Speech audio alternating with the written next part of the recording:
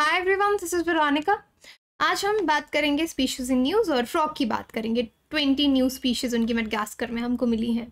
और species is species in news an important topic environment and ecology में। अगर आप देखेंगे प्रिलिम्स में पिछले कई सालों से किसी न किसी स्पीशीज़ पे जो न्यूज़ में रही होती है, उस पर सवाल आता है। लास्ट ईयर महासीर पर पूछा गया।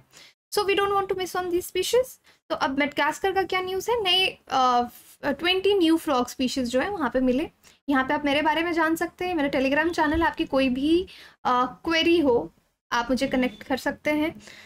एंड कोई भी question regarding your preparation mentorship you can connect with me here twenty new species of frogs discovered in Madagascar तो इस न्यूज़ को हम थोड़ा सा देखेंगे किस तरह से डिस्कवरीज होती हैं और इस तरह की डिस्कवरीज का आफ्टरऑल बेनिफिट क्या है। ह्यूमिड वेजिटेशन तो यहाँ पे जो मेडगास्कर की बात की गई है कि वहाँ से जो भी नदियाँ बहती हैं स्ट्रीम्स बहती हैं वहाँ पे बहुत ज़्यादा आपके ब्राउन फ्रॉग्स मिलते हैं और वहाँ पे ह्यूमिड वेजिटेशन रहती है। अब इससे पहले आ, किसी भी कंट्री में किसी भी एरिया में आप देखो तो बायोलॉजिस्ट या कंजर्वेशनिस्ट किस पे काम करते हैं कि किसी भी एनिमल की वहाँ पे कितनी स्पीशीज़ हैं? क्योंकि कितना डाइवर्सिटी है इस दुनिया में। इसके बारे में बायोलॉजिस्ट को बहुत ज़्यादा एक्साइटमेंट रहती है कि हम वो पता करें, क्योंकि अल्टीमेटली साइंस को आगे बढ़ाने में ये चीज़ें आपकी हेल्प करती हैं। अब फॉर्मली वहाँ पे अभी तक 14 डिफरेंट स्पीशीज़ जो थे मैलागैसी कॉमन ब्राउन फ्रॉग जो ब्राउन फ्रॉग होता है आपका नॉर्मल उसके 14 स्पीशीज़ इन्होंने डिस्कवर किए थे। लेकिन उसके बाद काफ़ी ज़्यादा फ़ील्ड वर्क साइंटिस्ट यहाँ पे कर रहे थे। तो अब उन्होंने ट्वेंटी एडिशनल स्पीशीज़ जो हैं फ्रॉग्स के, वो यहाँ पे बताए हैं और स्पेशली ये वो स्पीशीज़ हैं जो पहले भी नज़र में आए थे, लेकिन हमको लग रहा था कि ये पुराने फ्रॉग्स ही हैं। They are not the new species but अब और डिटेल में जब रिसर्च किया तो पता चला कि नहीं these are the different species तो काफ़ी ज़्यादा फ्रॉग की डिस्कवरीज यहाँ पे हुई हैं और ये माना जा रहा है कि फ्यूचर में यहाँ पे अभी और भी ज़्यादा बायोडाइवर्सिटी फ्रॉग की आपको मिलेगी। So here Madagascar you can find अपने मैप में उसको ज़रूर लोकेट कीजिए। अब ये जो नई स्पीशीज़ है, अब मेडगास्कर में टोड्स या सैलमेंडर्स अगर आप देखेंगे, वो नहीं पाए जाते बट एंडेमिक फ्रॉग्स तो the word is endemic endemic किस चीज़ के लिए यूज़ होता है? जो एक जियोग्राफिकल एरिया में ही पाया जाए, एक पर्टिकुलर जगह पे ही कोई स्पीशीज पाई जाती है लोकली रीजनली उसको हम एंडेमिक कहते हैं। 2009 में बहुत ज़्यादा कैटेगराइजेशन एम्फीबियंस का हुआ था। एम्फीबियंस क्या है? वो क्लास ऑफ़ एनिमल्स जो लैंड पे भी रह लेते हैं वाटर पे भी रह, रह लेते हैं दे आर द एम्फीबियंस तो यहाँ पे हमको पता चला था कि ऑलमोस्ट 244 मैलागैसी फ्रॉक की स्पीशीज़ यहाँ पे हैं और ये डाइवर्सिटी अभी और भी ज़्यादा हो सकती है। लेकिन डेटा कलेक्ट करने में बहुत ज़्यादा प्रॉब्लम आ रही थी, क्योंकि इनकी बायोलॉजी इनकी इकोलॉजी बहुत कॉम्प्लेक्स है। अगर आप नॉर्मल नेकेड आई से इनको देखेंगे, आपको तो लगेगा ये दोनों फ्रॉक्स सेम हैं बट हो सकता है वो दोनों फ्रॉक्स डिफरेंट हो, उनकी स्पीशीज़ डिफरेंट हो। तो फ़ील्ड वर्क करना भी मुश्किल हो जाता है, क्योंकि इस आइलैंड में रिमोट एरियाज़ हैं टेक्नोलॉजी नहीं पहुँच पाती यूज़फुल डेटा को कैसे एक्सट्रैक्ट करेंगे? तो इन सब चीज़ों की प्रॉब्लम्स यहाँ पे आती हैं, इसलिए डिस्कवर करना थोड़ा डिस्कवरी करना थोड़ी सी मुश्किल हो जाती है। That is why this news is important because यहाँ पे डाइवर्सिटी ढूंढना, नए स्पीशीज डिस्कवर करना is little bit difficult challenging आप कह सकते हैं कि हो सकता है हम उनको गलत क्लासीफाई कर लें। अब इस चीज़ को, इस चैलेंज को ओवरकम करने के लिए जिन साइंटिस्ट ने ये एडिशनल ट्वेंटी फ्रॉग्स आपको बताए museomics so this is a new term for you museomics use किया टू क्लासीफाई फ्रॉक्स तो म्यूजियोमिक्स क्या है? ये एक अप्रोच का नाम है, एक तरीके का नाम है। Art state of the art approach आप इसको कह सकते हैं। इसमें क्या है कि हम किसी दो फ्रॉग्स हैं ए और बी जो देखने में बहुत एक जैसे लगते हैं, हमको उनको एक्यूरेटली क्लासिफाई करना है कि ये दोनों सेम स्पीशीज़ हैं या अलग स्पीशीज़ हैं। अब ब्राउन फ्रॉग ऑलमोस्ट सब सेम जैसे लगते हैं तो यहाँ पे ये अप्रोच का इन्होंने यूज़ किया। अब इस अप्रोच में क्या किया जाता है, जो प्रिजर्व्ड आप कभी इस तरह के म्यूज़ियम में गए हो, जहाँ पे एनिमल्स को प्रिजर्व करके केमिकल्स के साथ प्रिजर्व करके रखा रहता है, उनकी बॉडी बिल्कुल इंटैक्ट होती है। आपको लगेगा जैसे ज़िंदा है बट वो ज़िंदा नहीं होते, इनको प्रिजर्व किया जाता है। तो अब जो इस तरह के म्यूजियम्स होते हैं, जहाँ पे फ्रॉग्स को प्रिजर्व किया गया, इन्होंने वहाँ से डीएनए एक्सट्रैक्ट किया। तो आपका साइंस बायो भी यहाँ पे नॉलेज आएगा कि डीएनए आपको कैसे हेल्प करेगा, क्योंकि आपने मूवीज़ में देखा होगा डीएनए मैच कर लो पता कराने के लिए whether who is your father और मदर पेरेंट्स के साथ डीएनए मैच हो रहा है या नहीं। तो इसी तरह से same goes for the animals also तो डीएनए को एक्सट्रैक्ट किया सीक्वेंस किया, क्योंकि उसके सीक्वेंस को आप मैच करके देखेंगे और कंपेयर किया। जो भी जेनेटिक डेटा इनको मिला, उसको नए वाले स्पीशीज जो ढूंढे जा रहे थे, उनके साथ कंपेयर किया, ताकि हम उनके फ़िज़िकल अपियरेंस से, उनकी शक्ल से धोखा ना खाएँ, उनकी जोग्राफिकल लोकेशन से धोखा ना खाएँ। तो इस टेक्निक से इन्होंने ट्वेंटी जो फ्रॉक की स्पीशीज़ हैं, जिनको पहले भी देखा गया था और आइडेंटिफाई नहीं किया गया था, उनको आइडेंटिफाई यहाँ पे किया गया। तो जो इंटरनेशनल टीम थी रिसर्चर्स की then they added twenty additional species जो कि अनट्रेंड आए, यानी जो लोग बायोलॉजी या इस फ्रॉग से रिलेटेड एरिया में काम नहीं करते, वो उसको नहीं पहचान सकते।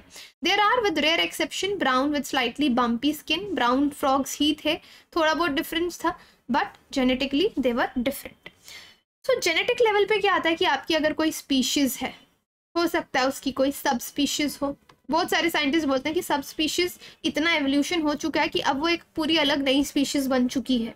तो ये जो नई स्पीशीज़ है, इनको रिलेटिव ऑफ़ रिलेटिव बोल सकते हो। कुछ केसेस में पेपर जो है, वो सब स्पीशीज़ बोलते हैं। कुछ पेपर जो बोलते हैं, उसको बोलते हैं no it is a totally different species तो जो नई क्लासिफिकेशन है, इसमें बहुत ज़्यादा फ़ील्ड वर्क हुआ है रिसर्च हुई है और फिर जाके ये कंक्लूजन निकला है।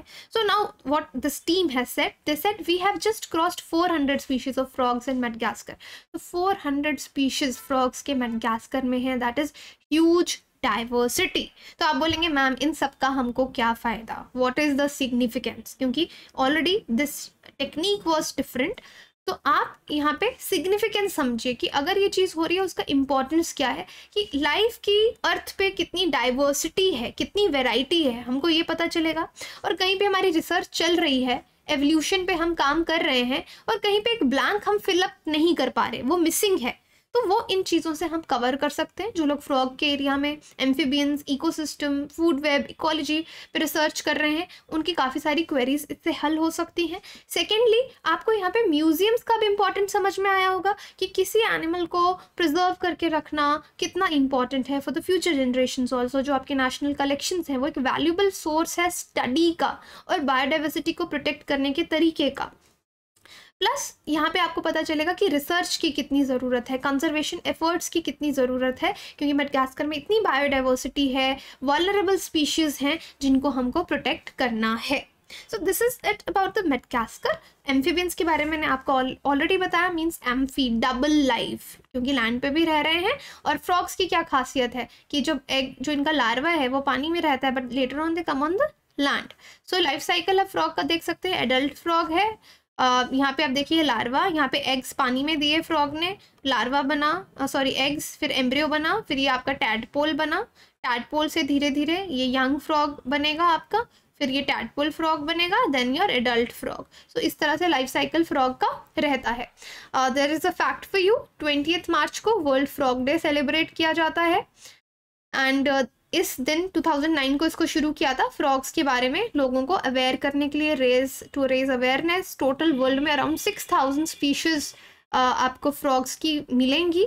अब एम्फीबियंस और भी होते हैं, जैसे दो बाकी के ग्रुप्स अगर आप देखेंगे सैलामेंडर्स सैलामेंडर्स या सिशीलियंस सिसीलियंस तो फ्रॉग्स उनसे कहीं ज़्यादा हैं, इनकी पॉपुलेशन कहीं ज़्यादा है, क्योंकि फ्रॉग बहुत ही अडाप्टेबल प्राणी है। डेजर्ट में हाई ऑल्टीट्यूड में, किसी भी एरियाज़ में एक्सेप्ट एंटार्टिका एंटार्टिका में नहीं है, बाकी आपको दुनिया के हर कोने में ये मिलेगा। So this is again fact except Antarctica आपको फ्रॉग्स ऑलमोस्ट हर जगह मिलेंगे। लार्जेस्ट फ्रॉग जो डिस्कवर हुआ है अर्थ पे that is Goliath this is again a fact for you 13.5 inches long है. Smallest frog is gold frog तो ये भी आपके लिए एक इन्फॉर्मेशन है. 0.39 इंचेस फ्रॉग्स स्किन से स्किन के अंदर इनका बेली में इनसाइड एक पैच होता है, जहाँ से ये पानी एब्जॉर्ब करते रहते हैं। तो जो फ्रॉग का स्किन है, वो हमेशा मॉइस्ट से गीला सा रहता है। ये ड्राई नहीं होने देता, उसको उस पैच से पानी लेता रहता है। Okay okay. And yes they can jump बहुत अपनी बॉडी से, इनका काफ़ी एबिलिटी रहती है अपनी बॉडी अपने वेट से कहीं ज़्यादा ये जंप कर सकते हैं but yes there are species of frogs जो उतना ज़्यादा जंप नहीं कर सकती तो दे जस्ट होप कि वो थोड़ा बहुत ही क्रॉल करेंगी या हॉप करेंगी लाइक ग्रॉस ऊपर कुछ फ्रॉग्स आपके पॉइजनस भी होते हैं टॉक्सिक स्किन होती है, उसके टच में आप आएँगे तो वो काफ़ी जहरीली होगी, जैसे कि गोल्डन पॉइजन फ्रॉग तो वो दस बड़े लोगों को भी मार सकता है मोस्ट टॉक्सिक एनिमल अर्थ पे कंसीडर किया जाता है। इस तरह से हंड्रेड डार्ट फ्रॉग भी हैं। उनको भी कंसीडर किया जाता है कि वो पॉइजनस हैं। देन अबाउट मेडगास्कर एक आइलैंड नेशन है। इसके बारे में आपने जोग्राफी में ज़रूर पढ़ा होगा। uh, यहाँ पे बायोडाइवर्सिटी मॉनिटरिंग वेजिटेशन टाइप्स अलग अलग हैं। तो कंजर्वेशन एफर्ट्स चल रहे हैं। देन uh, मेडगास्कर के बारे में last place in the world यहाँ पे लेमोर्स आपको मिलेंगे। और मेडगास्कर uh, में अराउंड ट्वेंटी वन मिलियन लोग हैं अलग अलग फेथ और कस्टम्स के। इलीगल वाइल्ड लाइफ ट्रेड भी यहाँ पे बहुत होती है यूनिक स्पीशीज़ क्योंकि इस आइलैंड में बहुत पाए जाते हैं, इसलिए कंजर्वेशन की यहाँ पे बहुत ज़्यादा ज़रूरत है। मैमल स्पीशीज़ जो थ्रेटन है विद एक्सटिंक्शन वो यहाँ पे बहुत इंक्रीज हो गए जो कि 56 से 2010 में 128 हो गए 2021 में। This is like little bit information about Madagascar तो I hope this lecture is helpful to you आपकी कोई भी क्वेरी हो, आप मुझसे कनेक्ट कर सकते हैं। आप अपनी प्रिपरेशन हमारे साथ शुरू कर सकते हैं। Vero U P S is the code maximum discount के लिए and for my personal mentorship आप मुझे टेलीग्राम पे बताइए, आपने मेरा कोड यूज़ किया है। और अन अकेडमी को चूज़ करने का रीज़न सबसे अच्छा यह है कि आपको बहुत टीचर यहाँ पे मिलते हैं। आप अपने फेवरेट टीचर से पढ़ सकते हैं। फ़िलहाल फ्री एक्सटेंशन वीक भी चल रहा है। आपको एक्स्ट्रा वैलिडिटी मिलेगी यहाँ पे। रिविजन बैचेस हमारे शुरू हुए हैं। आप इनको ज्वाइन कर सकते हैं। कोर्स को ई e पे भी ले सकते हैं। इंटरव्यू गाइडेंस प्रोग्राम अपने फ्रेंड्स को बताइए इसके बारे में। ऑफलाइन सेंटर भी अन अकाडमी का राजेंद्र नगर में खुल रहा है in case you are interested in that you'll get the full access to plus classes and test also thank you so much